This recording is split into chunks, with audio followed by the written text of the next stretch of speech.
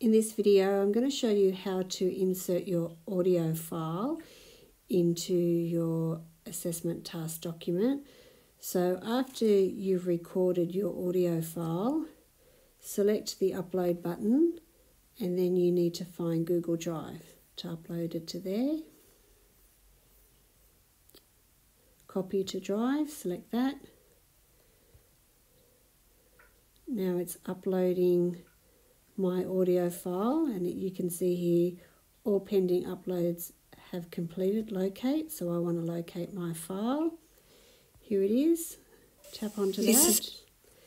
Now we need to copy the link where this file is located. So select the three dots up the top of your screen and select copy link. So you'll find there that the link is all automatically copied now I need to go into my Google document, which is called assessment task. So it'll be up the top here.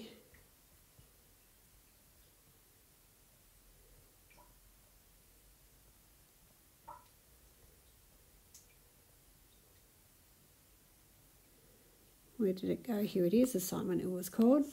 So open up that document now to add the link, you'll see at the top of your screen you have the plus button. Select that, select link, give it a name, so audio, and then copy what you've just copied from your, uh, or I should say paste, what you've just copied from your clipboard into here and select enter.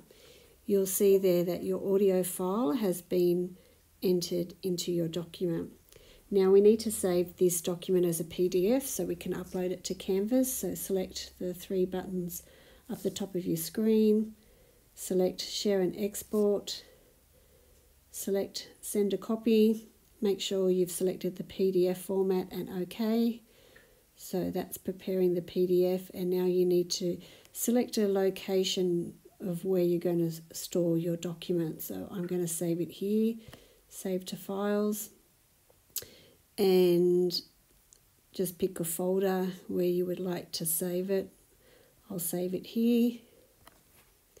So now that PDF has been saved on your device, then when you go into Canvas, you need to upload that PDF onto Canvas.